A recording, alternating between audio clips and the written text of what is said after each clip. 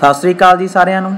Punjabi dictation speed 80 ਦੋ ਅਲੱਗ-ਅਲੱਗ ਪੈਰੇ 200 ਸ਼ਬਦ ਪਹਿਲਾਂ ਬੋਲਾਂਗੇ 2 ਮਿੰਟ ਦੀ ਬ੍ਰੇਕ ਤੋਂ ਬਾਅਦ 200 ਸ਼ਬਦ ਫਿਰ ਬੋਲਾਂਗੇ।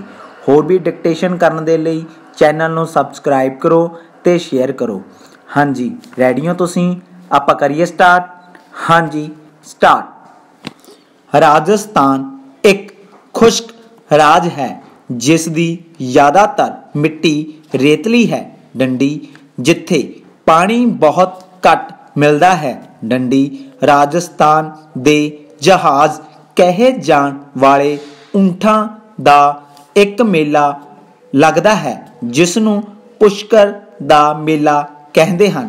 ਡੰਡੀ ਇਹ ਮੇਲਾ ਪੁਸ਼ਕਰ ਊਂਠ ਮੇਲੇ ਦੇ ਨਾਂ ਨਾਲ ਪ੍ਰਚਲਿਤ ਹੈ। ਡੰਡੀ ਇਹ ਮੇਲਾ ਪੁਸ਼ਕਰ ਸ਼ਹਿਰ ਵਿੱਚ ਕਾਰਤਿਕ ਮੇਲਾ ਵੀ ਕਿਹਾ ਜਾਂਦਾ ਹੈ। ਡੰਡੀ ਮੇਲਾ ਹਿੰਦੂ ਕੈਲੰਡਰ ਦੇ ਮਹੀਨੇ ਨਾਲ ਸ਼ੁਰੂ ਹੁੰਦਾ ਹੈ ਅਤੇ ਕਾਰਤਿਕ ਪੂਰਨਿਮਾ ਤੇ ਖਤਮ ਹੁੰਦਾ ਹੈ।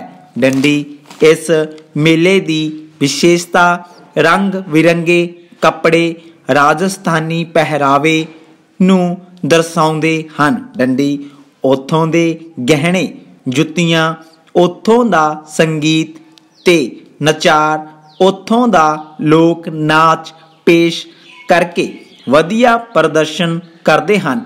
ਡੰਡੀ ਊਂਠਾਂ ਦੀਆਂ ਦੌੜਾਂ, ਗਰਮ ਹਵਾ ਦੇ ਗੁਬਾਰੇ ਲੋਕਾਂ ਦੇ ਖਿੱਚ ਦਾ ਕੇਂਦਰ ਬਣਦੇ ਹਨ।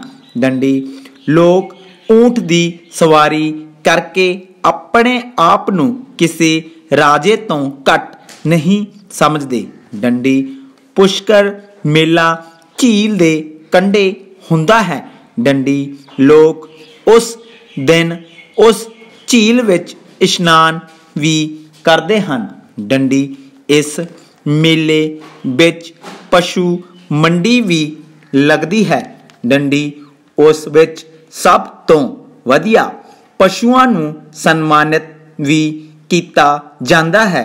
ਡੰਡੀ ਇਸ ਮੇਲੇ ਵਿੱਚ ਤਰ੍ਹਾਂ ਤਰ੍ਹਾਂ ਦੀਆਂ ਖੇਡਾਂ ਕਰਵਾਈਆਂ ਜਾਂਦੀਆਂ ਹਨ, ਜਿਸ ਵਿੱਚ ਗੱਡਾ ਦੌੜ ਸਾਰਿਆਂ ਤੋਂ ਲੰਬੀਆਂ ਮੁੱਛਾਂ ਦਾ ਮੁਕਾਬਲਾ, ਦੁਲਹਨ ਮੁਕਾਬਲਾ, ਊਂਠ ਦੌੜ ਅਤੇ ਹੋਰ ਕਈ ਤਰ੍ਹਾਂ ਦੀਆਂ ਖੇਡਾਂ ਸ਼ਾਮਿਲ ਹੁੰਦੀਆਂ ਹਨ। ਡੰਡੀ ਸਟਾਪ ਹਾਂਜੀ ਤੁਹਾਡੇ ਦੋ ਮਿੰਟ ਸਟਾਰਟ ਹੋ ਚੁੱਕੇ ਨੇ ਜੀ। ਇਸ ਪੈਰੇ ਨੂੰ ਪੜ੍ਹੋ।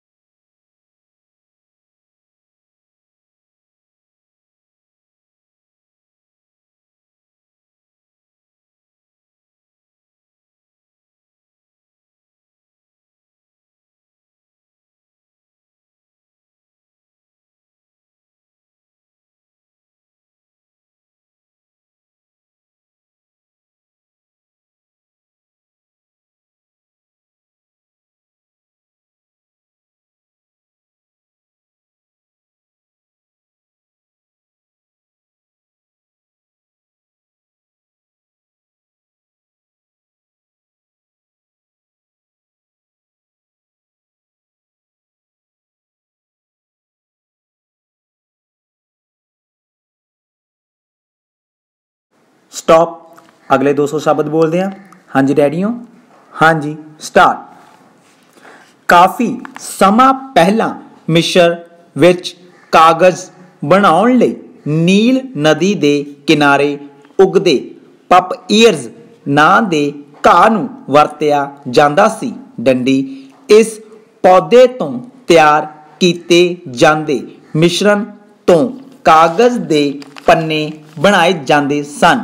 ਡੰਡੀ ਸੁੱਕਣ ਤੇ ਇਸ ਨੂੰ ਲਿਖਣ ਲਈ ਉਪਯੋਗ ਕੀਤਾ ਜਾਂਦਾ ਸੀ। ਡੰਡੀ ਅਜਿਹਾ ਹੋਣ ਕਾਰਨ ਕਾਗਜ਼ ਦਾ ਨਾਂ ਪੇਪਰ ਪਿਆ ਮੰਨਿਆ ਜਾਂਦਾ ਹੈ। ਡੰਡੀ ਕਾਗਜ਼ ਸ਼ਬਦ ਸੰਸਕ੍ਰਿਤ ਦੇ ਸ਼ਬਦ ਕਾਗਦ ਤੋਂ ਬਣਿਆ ਹੈ। ਡੰਡੀ ਦੁਨੀਆ ਵਿੱਚੋਂ ਸਭ ਤੋਂ ਪਹਿਲਾਂ ਕਾਗਜ਼ ਦੀ ਖੋਜ ਚੀਨ ਵਿੱਚ ਹੋਈ ਮੰਨੀ ਜਾਂਦੀ ਹੈ। ਡੰਡੀ, ਹਾਨ, ਰਾਜਵੰਸ਼ ਦੇ ਸ਼ਾਸਨ ਸਮੇਂ 202 ਈਸਵੀ ਪੂਰਬ ਕਾਗਜ਼ ਦੀ ਖੋਜ ਕਾਈ ਲੂਨ ਨਾਂ ਦੇ ਵਿਅਕਤੀ ਨੇ ਕੀਤੀ। ਡੰਡੀ, ਲੋਕ ਇਸ ਤੋਂ ਬਹੁਤ ਸਮਾਂ ਪਹਿਲਾਂ ਲਿਪੀ ਤੇ ਲਿਖਣ ਕਲਾ ਤੋਂ ਵਾਕਫ ਸਨ।